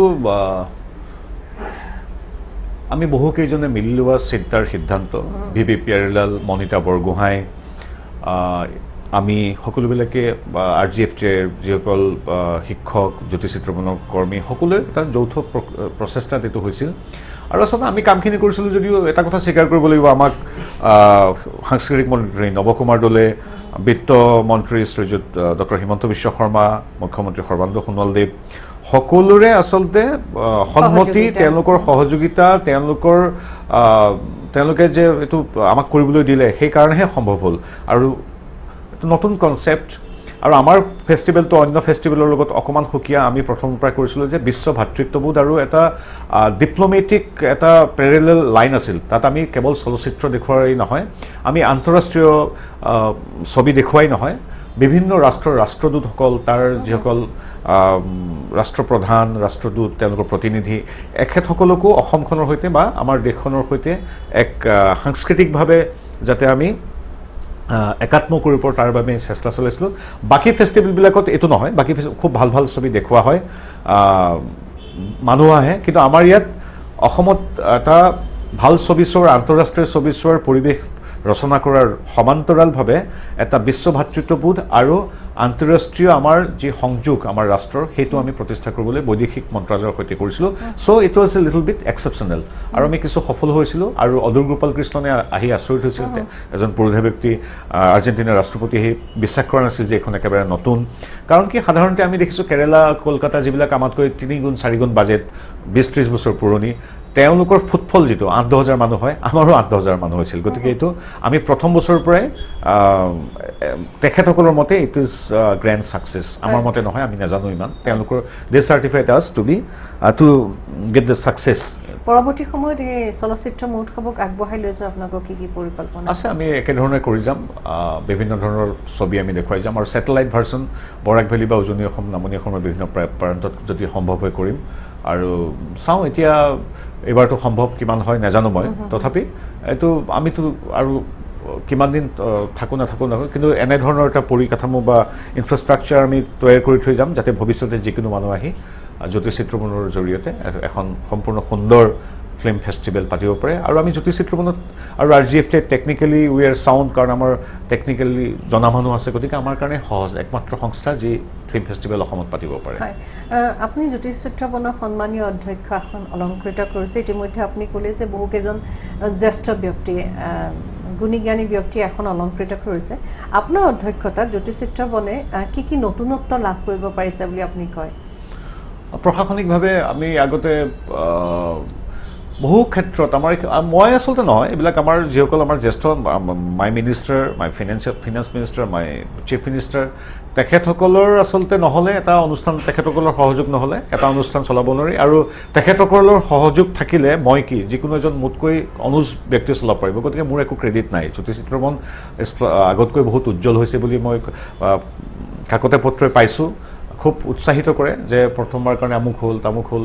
এই কথাখিনি উৎসাহিত কৰে কিন্তু ফিল্ম ইণ্ডাষ্ট্ৰী ফিল্ম ফ্ৰেটাৰ্নিটি বা চৰকাৰৰ বিষয়ববীয়া বা আমাৰ মাৰ্গদৰ্শকসকল মন্ত্ৰীসকল তেখেতসকলৰ সহযোগ নহ'লে একো নহয়। তেওঁলোকৰ ফিনান্সিয়েল এছিষ্টেঞ্চ লাগিবই। ফিল্ম ইণ্ডাষ্ট্ৰীৰ মানুহখিনিৰ আশীৰ্বাদ লাগিবই। গতিকে মোৰ বিশেষ নাই। মই এজন just simply politically appointed person মই বিৰাট এটা অভিজ্ঞতা বা এনেকুৱা লৈ অহা নাই। কিন্তু তাত হয়। তাত মই এটা আগতে দৰমহাৰ কাৰণে আমাৰ কৰ্মচাৰীয়ে আন্দোলন কৰিছিলে। আজিকালি কৰিব নালাগে। আমাৰ কৰ্মচাৰীয়ে ছেভেন পে' কমিশ্যন পায় এইখিনি হ'ল মোৰ প্ৰশাসনিক কথা। আৰু যিমান বিল্ডিং আছিল এইবিলাক পঞ্চাছ বছৰ পুৰণি building electrical electrical connections infrastructure একো সেইবিলাক বহুদিন মেনেজ হোৱা মানে কি মেইনটেইন কৰা হোৱা নাছিল।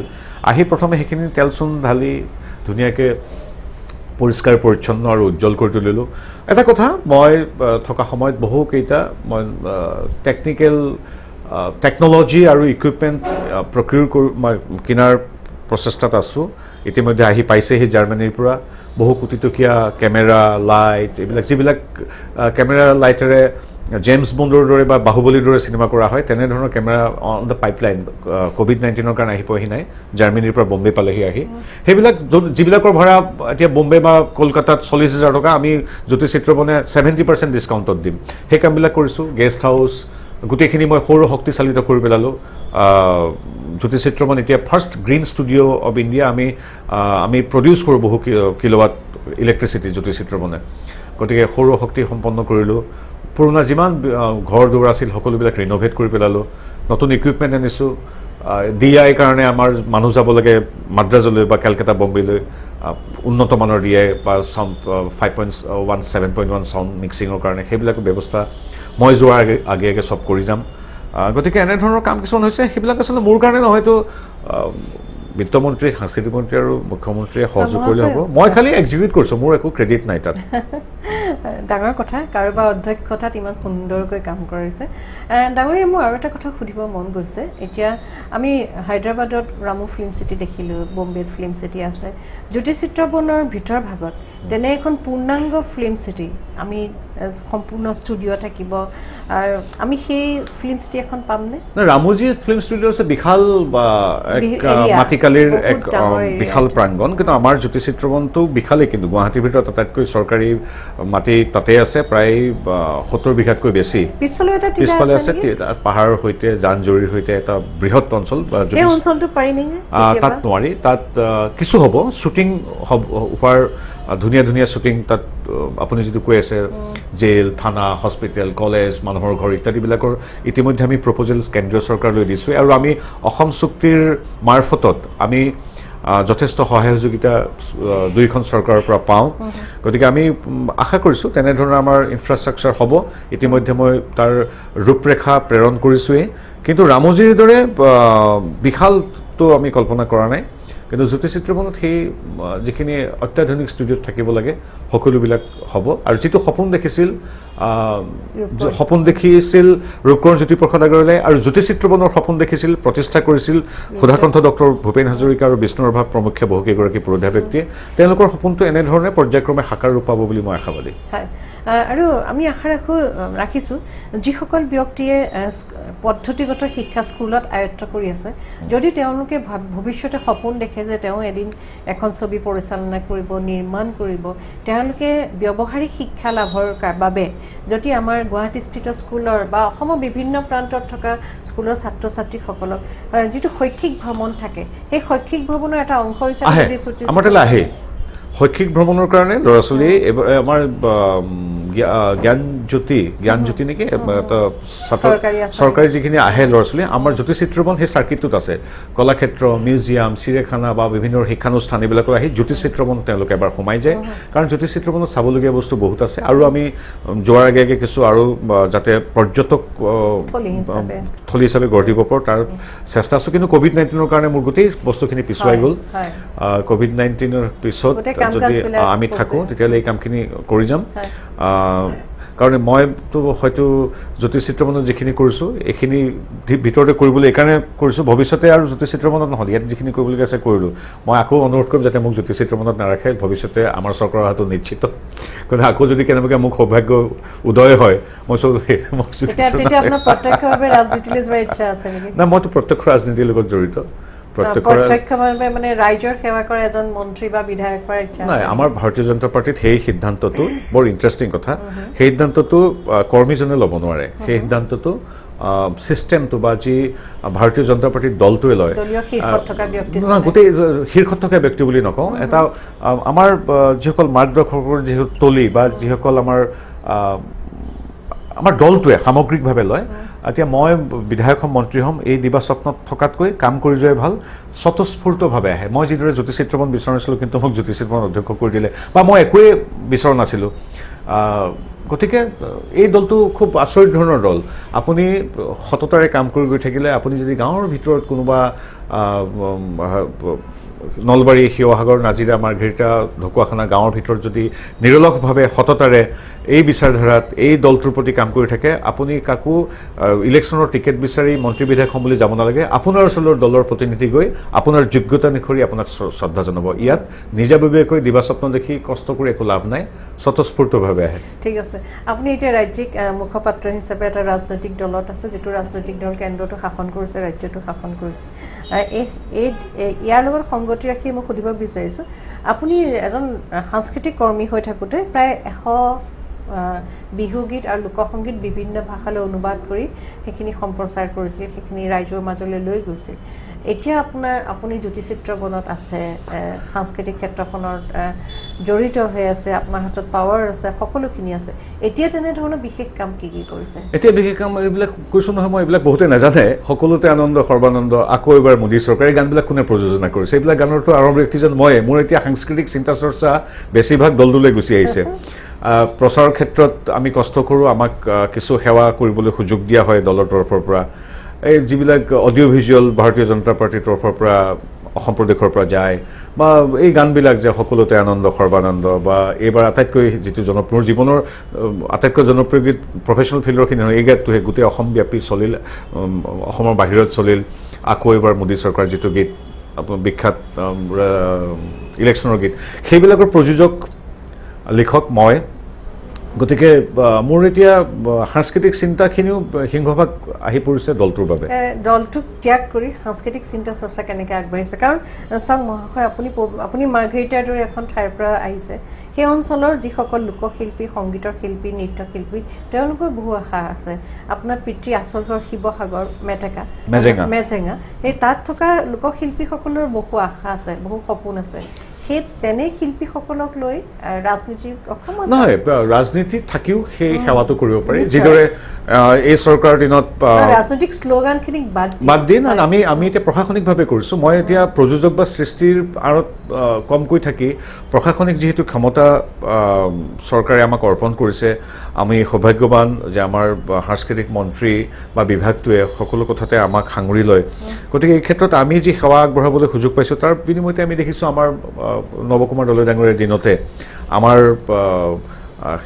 সেৱাৰ এই কাৰ্যকালৰ সময়তে আগতে বিছজন মানুহে আৰ্টিষ্ট পেঞ্চন পায়। এতিয়া এশজন আমি কৰিব পাৰিছোঁ।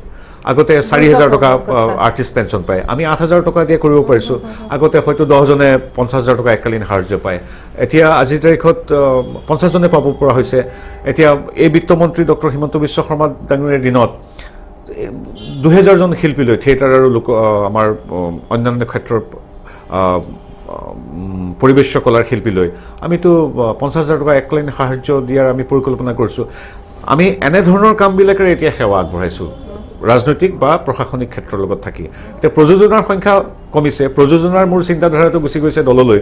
আৰু বাকী যিখিনি চিন্তা চৰ্চা আছে আমি আমাৰ জ্যেষ্ঠসকলৰ লগত লাগি সাংস্কৃতিক পৰিমণ্ডলটোত কেনেকৈ আৰু শক্তিশালী হয় কেনেকৈ অসমৰ সংস্কৃতি প্ৰসাৰিত হয় ব্যাপ্ত হয় তাৰ চিন্তাত চৰকাৰৰ পক্ষত থাকি আমি চিন্তা কৰিবলৈ সুযোগ পাইছোঁ। আমাৰ চিন্তা চৰ্চা এতিয়া সেই দিশত আমি লগাইছোঁ। মহাশয় আৰু এটা কথা সুধিব মন গৈছে। আপুনি ভাৰতীয় জনতা দলৰ ৰাজ্যিক মুখপাত্ৰ হিচাপে আপুনি কাম কৰি আছে। যুৱ প্ৰজন্মক আমি প্ৰত্যেকটো ৰাজনৈতিক দলে নিজৰ চিন্তাধাৰা নিজৰ আদৰ্শ নিজে কৰিবলগীয়া কামখিনি যুৱ প্ৰজন্মৰ মাজলৈ লৈ যায়। যুৱ প্ৰজন্মক আকৰ্ষণ কৰে। কাৰণ এতিয়া আমি ওঠৰ বছৰ হ'ল ভোটা ওঠৰ বছৰীয়া এজন যুৱক বা যুৱতীয়ে ভোটাধিকাৰ লাভ কৰিছে। আপুনি এজন দলীয় কৰ্মী হিচাপে যুৱ প্ৰজন্মলৈ আপোনালোকৰ চিন্তাধাৰা আদৰ্শ আৰু যোগাত্মক মনোভাৱেৰে কৰিবলগীয়া কামখিনি কেনেধৰণে আগবঢ়াই লৈ গৈছে?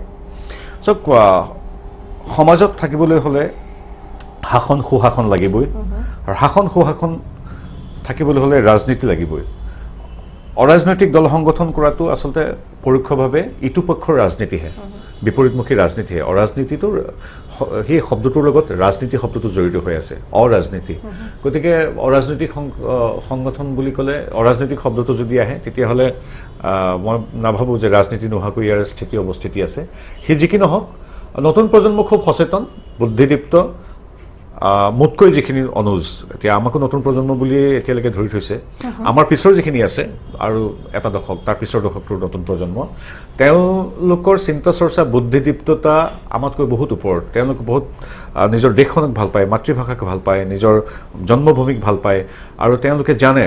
আৰু সেইকাৰণে নৰেন্দ্ৰ মোদীৰ প্ৰতি তেওঁলোক আকৰ্ষিত। সৰ্বানন্দ সোণোৱাল হিমন্ত বিশ্ব শৰ্মা ৰঞ্জিত দাস ইত্যাদিৰ প্ৰতি আমাৰ নেতাসকলৰ প্ৰতি আকৰ্ষিত। আমি সেইকাৰণে জয়লাভ কৰিছোঁ।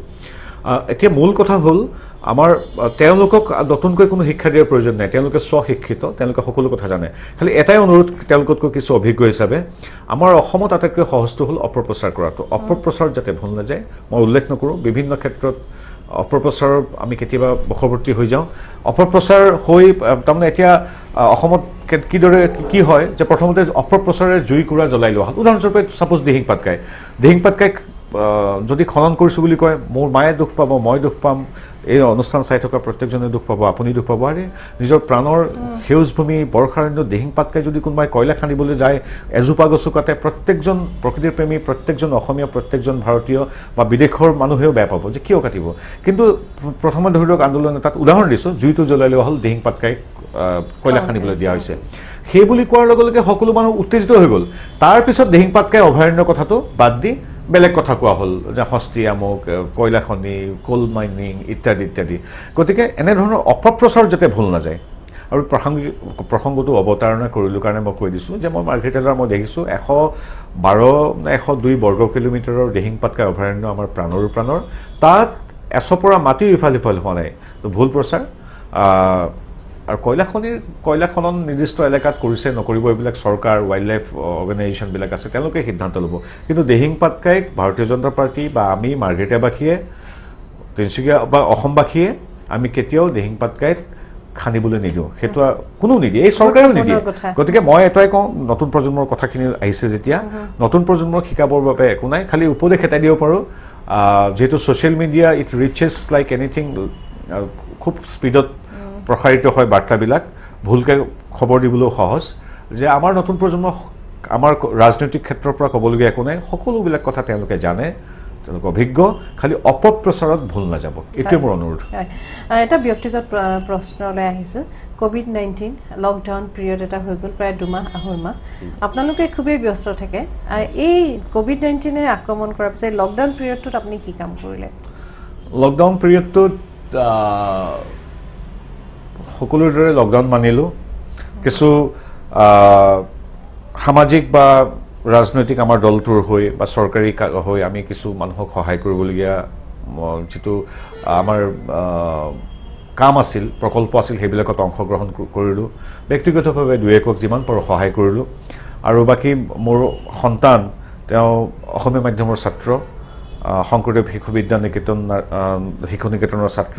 গতিকে হোমৱৰ্কবিলাক আহিছে। আহ, সহধৰ্মিনী গায়ত্ৰী আৰু মই হোমৱৰ্কো কৰিবলগীয়া হৈছে এণ্ড্ৰইড মোবাইল মোবাইল লৈ লৈ। গতিকে মই ক'ব লাগিব যে এইবাৰ লকডাউনত মূলতঃ মোৰ সন্তান জীও যি শংকৰদেৱ শিশু নিকেতনৰ ছাত্ৰ তেওঁৰ হোমৱৰ্কখিনিও কৰিলোঁ আমি লকডাউনত মই আৰু গায়ত্ৰী। সেইটো এটা অন্যতম প্ৰধান কাম। আছিল। তাৰ বাহিৰে দলৰ সেৱা বাকী পিতৃৰ কামখিনি আপুনি সুকলমে কৰিলে।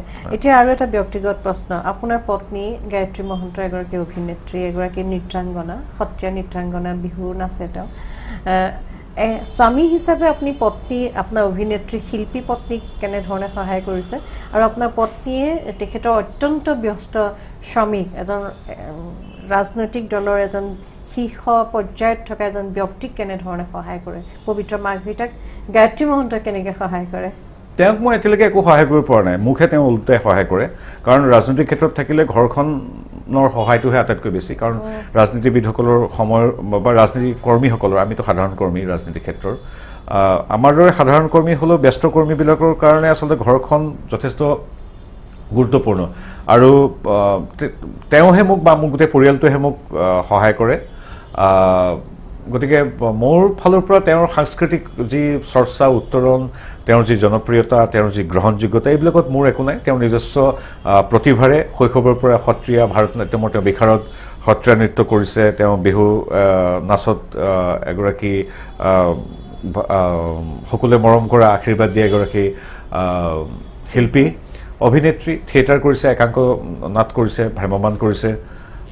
এতিয়া গুৱাহাটী বিশ্ববিদ্যালয়ৰ অসমীয়া বিভাগৰ গৱেষিকা ছাত্ৰী। এই সকলোবিলাকত আমাৰ এক বিন্দু মোৰ এক বিন্দু অৰিহণা নাই তেওঁ নিজৰ প্ৰতিভাৰে তেওঁ নিজৰ কষ্টৰ অধ্যৱসায়েৰে কাম কৰিছে। মোৰ ফালৰ পৰা তেওঁক আজিলৈকে মোৰ এইটো দুখ যে একো সহায় কৰিব পৰা নাই। তেওঁ নিজে কৰিছে আৰু আমি পৰস্পৰ পৰস্পৰক যথেষ্ট সহায় কৰিবলৈ চেষ্টা কৰোঁ। সেই চেষ্টাটোৰ কাৰণে মই অন্ততঃ ঠিকে আছোঁ। অনাগত দিনত আমি পবিত্ৰ মাৰ্ঘৰিটা ডাঙৰীয়াক কি ৰূপত দেখা পাম? মই এগৰাকী পূৰ্ণকালীন ৰাজনীতিক অৰ্থাৎ মই বাকী জীৱনটো নিৰ্বাহ কৰিবলৈ সৰু সৰু ব্যৱসায় পৰিয়ালৰ ব্যৱসায় ইত্যাদিতো কিছু সময় দিবলগীয়া হয় কাৰণ জীৱনটো যাপন কৰিবলৈ আমাক উপাৰ্জন লাগে। গতিকে মোৰ ভাইটি হওক পৰিবাৰ হওক মোৰ নিজৰ পুৰণা ফাৰ্ম হওক সৰু সৰু ব্যৱসায়বিলাক আহ, তো চলি থাকিব। তাৰোপৰি মই কিন্তু সম্পূৰ্ণ সময় ৰাজনীতিতে দিম ৰাজনীতিৰ লগত জড়িত ভাৰতীয় জনতা পাৰ্টীৰ লগত আজীৱন থাকিম। আৰু তাৰ বাহিৰে ভাৰতীয় জনতা পাৰ্টী যলৈকে লৈ যায় তেনেকৈ যাম সেইটোত মই সম্পূৰ্ণ সমৰ্পিত কাৰ্যকৰ্তা। আৰু বাকী সাংস তাৰ মাজত যেতিয়া আজৰি পাম মই পুনৰ অহাবাৰৰ পৰা ইলেকশ্যনৰ পিছৰ পৰা ময়ো কিছু আকৌ প্ৰযোজনা কৰিবলৈ আগবাঢ়িম। প্ৰযোজনা সাংস্কৃতিক ক্ষেত্ৰত চিনেমা প্ৰডিউচ কৰিব পাৰোঁ মই এইটো কৰিম খুব ভাল লাগিল। আৰু এটা ব্যক্তিগত প্ৰশ্ন সুধিব বিচাৰিছোঁ। আপোনালোক অত্যন্ত ব্যস্ত হৈ থাকে। আপুনি ক'লেই যে পৰিয়ালৰ লগতো কেতিয়াবাও সময়ত আহ, সময় দিবলৈ সময় নাইকিয়া হৈ থাকে। আমি যদি ভাবোঁ যে বাতাবৰণবিলাক আকৌ ধুনীয়া হৈ যাব টু থাউজেণ্ড নাইন ঊনৈছ দুহেজাৰ ঊনৈছ চনত আমি যেনেকৈ মুক্ত মনেৰে মুক্ত বিহংগৰ দৰে যলৈকে মন যায় যাব পাৰিছিলোঁ তেনেকৈ যদি যদি সময়খিনি আকৌ আগৰ সময়খিনি আমি ঘূৰাই পাওঁ আপুনি আপোনাৰ পত্নী আৰু মৰমৰ জীওক লৈ আপোনালোক কোন ঠাইলৈ ফুৰিবলৈ যাবলৈ ভাল পাব? নাই এতিয়াতো বাহিৰলৈ আৰু দুবছৰতো যোৱাটো সম্ভৱ নহয়, এতিয়া নহয়। আমি এই পৰিৱেশ বুলি নহয় আমি কল্পনা কৰি ল'লোঁ যে আগৰ পৰিৱেশ ঘূৰি আহিল তেতিয়া। কল্পনাৰে? ন মই আমি এইবাৰে আমি আপোনাক কৈছোঁ এইটো ইমান জৰুৰী নহয় আচলতে এনেধৰণৰ হেৰিয়াত কোৱাটো।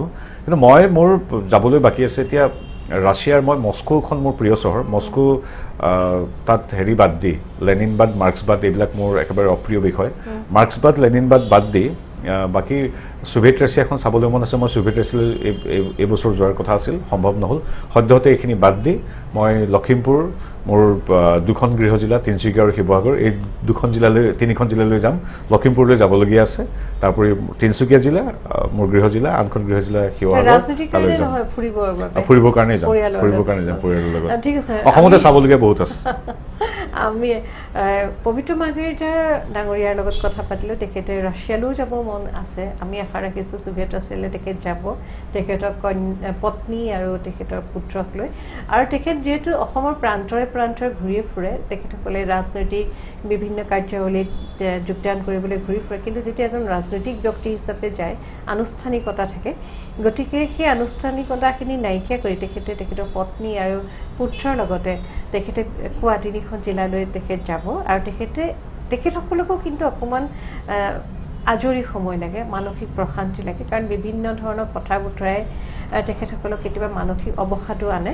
আমি আশা ৰাখিছোঁ তেখেতসকল ভালে থাকক আৰু তেখেতসকলৰ দ্বাৰা সাংস্কৃতিক কৰ্মীসকলে ৰাজনৈতিক কৰ্মীসকলে এখন সুস্থ সমাজ আমালৈ আগবঢ়াই দিব। ধন্যবাদ মহাশয়। আপুনি ধন্যবাদ। ব্যতিক্ৰম। ব্যতিক্ৰমৰ এই নতুন প্ৰচেষ্টাক অভিজ্ঞ ব্যতিক্ৰম বিভিন্ন ক্ষেত্ৰত আৰু এই নতুন প্ৰচেষ্টা জনমুখী যি প্ৰচেষ্টা এই সফল হওক। পুনৰবাৰ প্ৰতিগৰাকী দৰ্শকলৈ মই পবিত্ৰ মাৰ্ঘেৰিতে আন্তৰিক শ্ৰদ্ধা জনাইছোঁ মোৰ অতি মৰমৰ বন্ধু মনমৰমী মহন্তক আহ, ধন্যবাদ জনাইছোঁ আমাক এই আপোনালোকৰ সৈতে মু- মুখামুখি কৰি দিয়াৰ বাবে ব্যতিক্ৰমৰ এই সাংস্কৃতিক যাত্ৰা আহ, অব্যাহত থাকক ধন্যবাদ Welcome to Spectrum Ventures, an institution committed towards excellence in IITJ, NEET, AIMS, and boards preparation. We offer courses for classes 11 and 12, repeaters, and pre foundation. We have a team blended with youth and experience dedicated in nurturing young talents of Northeast. The administrative team maintains a special care unit for each and every student. We provide in house hostel facilities. Four years of hard work, constant dedication, and support from my team, parents, and teachers have helped me to start an educational revolution in Assam. Every year, we have dominated in the results of NEET 2019 and JEE 2019 and is not an exception. This time, more than 55 selections have taken place out of 112 students, with Upasana Talukdar being the highest with 643 marks. Best team, best teachers, and the entire dedication has helped us to grow to become the fastest coaching institute in Assam.